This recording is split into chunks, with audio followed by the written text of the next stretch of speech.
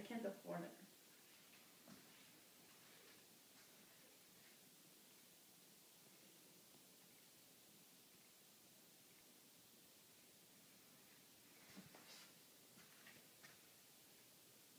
I'm not rich like you.